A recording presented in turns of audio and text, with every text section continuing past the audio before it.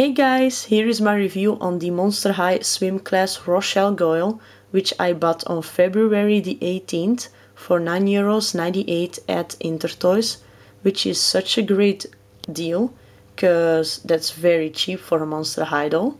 So I bought her and Frankie together.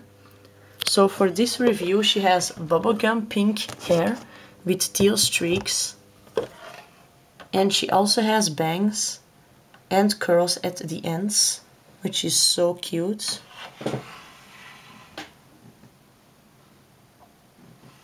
She has purple eyeshadow pink eyes and bubblegum pink lip gloss.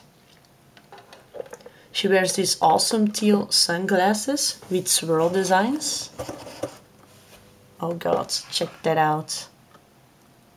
That is just so awesome and she wears a teal see-through bracelet up here. And she has her wings of course. Then her bathing suit is one piece. So it, the top has two tones of bubblegum pink. And has black plastic straps going around her neck and then this black plastic fleur-de-lis design which is so cool. And then over here her teal two-layered skirt with swirl design. So cute. And the same shoes as the basic Rochelle but this time it's teal and see-through. That is so cool. So let's see if I can show it clearly to you guys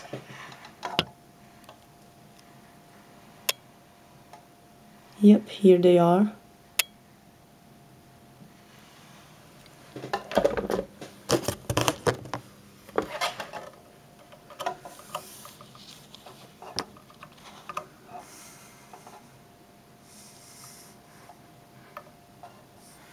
Alright, and she only comes with her pink uh, towel with swirl design and also this teal see-through beach bag which looks like a French cage that is so awesome.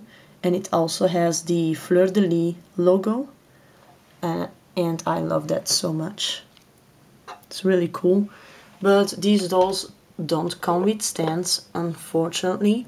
But you know it is what it is. So here she is in her box with her artwork. Really cute and then on the back side the whole collection.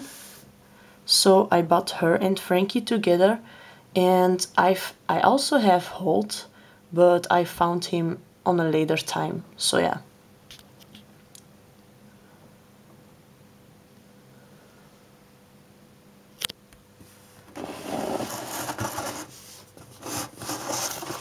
So here's an overview on her.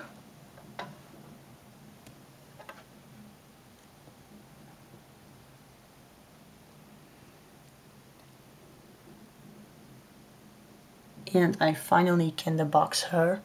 She's so cute. I'm very very happy with this doll. So thank you guys for watching my review on the Monster High Swim Class Rochelle Goyle. And don't forget to watch my review on Frankie, which is the next one. So I'll see you there. Ciao!